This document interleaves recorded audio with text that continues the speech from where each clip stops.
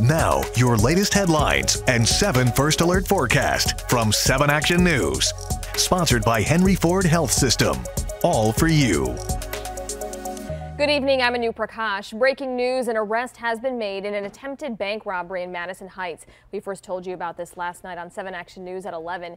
The attempted robbery happened at the Chase Bank inside Hollywood Markets on North Campbell Road. Warren police say they went to the suspect's home when they saw him get in a vehicle and take off. They chased him from Warren all the way to Wayne State's campus downtown.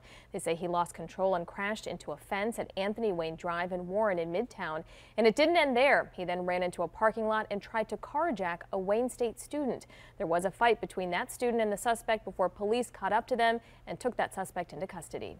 Detroit police are hoping to reunite this dog with its family this holiday. They say they found the pup shivering underneath a parked car around 4 o'clock this morning at the corner of Webb and 14th on the west side.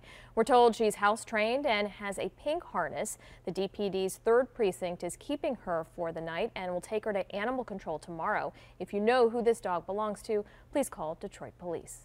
Now let's get a check on the forecast with Chief Meteorologist Dave Rexroth. Listen, it's cold out there right now, but temperatures do not drop off tonight. So we're in the low to mid 20s. In Detroit, we'll go 26 tomorrow morning. It's chilly for the shoppers, but look at the warm up. Some sunshine most, if not all, of the day on Friday. That gets us to 43. 45 is the average high this time of year. We'll beat that both days, Saturday and Sunday, even though we'll have rain most of Saturday.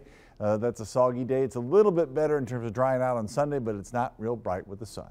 All right, Dave, thank you. Those are your 7 Action News headlines. We have those stories and more on our website, WXYZ.com, and on our app. Have a great night.